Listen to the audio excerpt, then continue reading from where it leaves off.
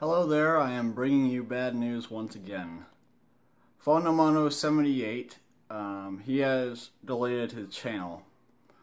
Now, we have known about things with Phonomono going bad for about two years now. Since Article 13 came around in 2018, he was thinking he had to delete his channel. Thankfully, he didn't.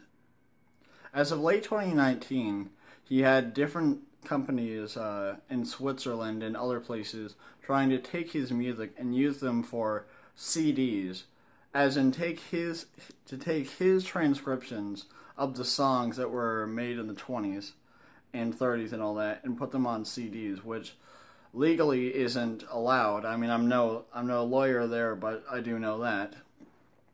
And he had expressed several times that he has not been enjoying his time on YouTube as of late because of all the claims and otherwise that has been sent his way, including a few companies of American origin, known as, one known as Naxos of America, uh, have been trying to get his channel taken down and even threatened to sue several times for songs that they don't even own, which is which is really customary on YouTube, but um, it is it has caused him a lot of trouble. And um, a couple weeks ago, he made an attempt to delete his channel.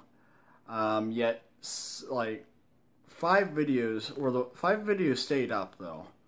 Those five videos, and then two duplicates of one of those five, of, of two of those five and then he for a few weeks he just put it back up again. And but now he's finally decided to unfortunately delete his channel. Now whether or not this means that he's gone from youtube entirely i i don't know. I don't know.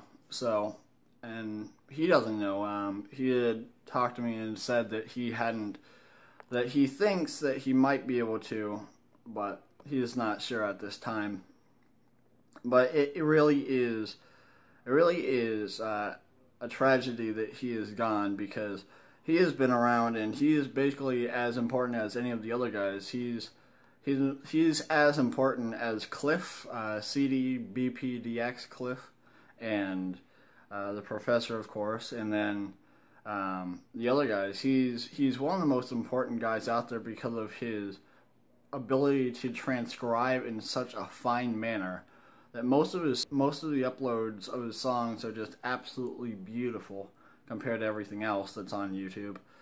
Um, it is it's a real shame and it's a loss that we have that we have lost him again. Well, that we have lost another one of us. So, yeah. Um, if there's any more updates to the situation, I'll try to I'll try to uh, update you guys for that. Um, I would show you guys uh, comments and stuff from him, but I'm not sure he would want that. But this is basically it. I hope things get better from here on out, but um, unfortunately, Phonomono is currently gone from YouTube entirely. He has deleted his account and all of his videos. I have saved, I've saved probably under 10 of his videos because I didn't exactly think that it was going to, um, that this was going to happen, but it did. Uh, I don't think I'm going to put them up anywhere. I'll probably give them to someone else, or yeah, I'll probably give them to someone else to uh, to put up if they want to re-upload them.